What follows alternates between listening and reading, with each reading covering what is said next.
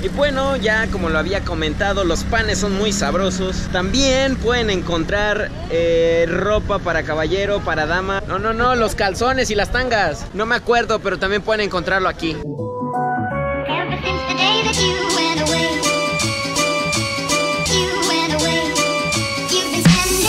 A ver, Christopher, cuando vienes al mercado tú eh, y acompañando a tu mamá, ¿qué es lo que saben comprar normalmente? ¿Qué más? ¿Pero como qué? pescado, Ahorita vamos a ver a las personas que, que venden birria. Vamos a ver qué nos pueden decir las personas de allá. Vamos. Vamos a entrar en la parte de arriba donde dice nave 4.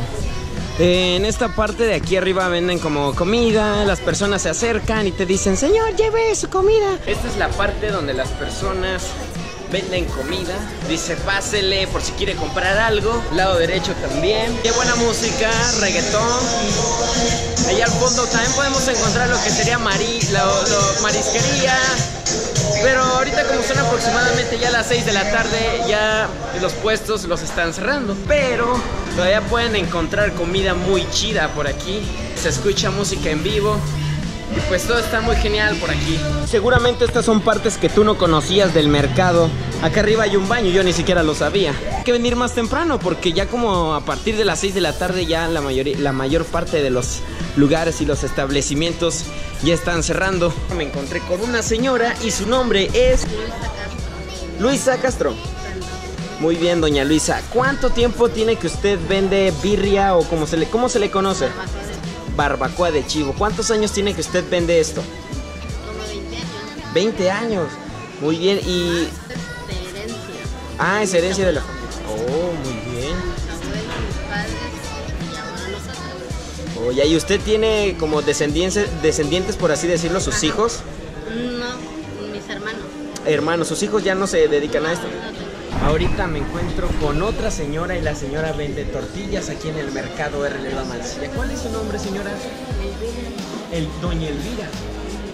Eh, aproximadamente cuántos años tiene que usted vende tortillas? Entonces aquí tiene aproximadamente 40 años vendiendo. ¿sí? Y aquí más o menos cuánto es lo que tiene aquí en su canastita? 300 pesos. O tre-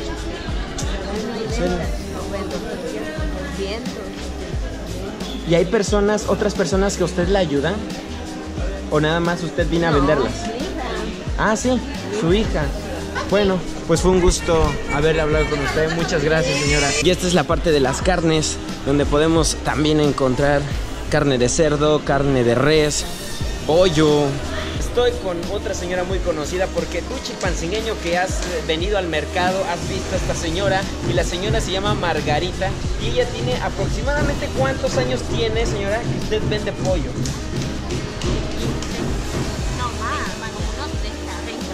Como 30 años. Muy bien, la señora Margarita tiene 30 años vendiendo pollo. Las veces que yo he venido, hasta mi mamá le ha comprado. La señora no lo sabe porque pues muchas personas vienen a comprar.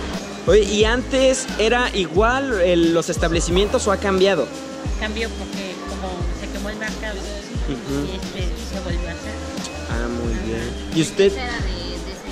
El techo era de cemento. Ella es doña Margarita, alias la güerita, así que si vienes al mercado no olvides comprarle pollo porque ella tiene 30 años vendiendo por estos lugares. Y sigo caminando por las pollerías de aquí del mercado y ya nos topamos con esa señora Margarita, pues que tiene 30 años vendiendo por estos lugares.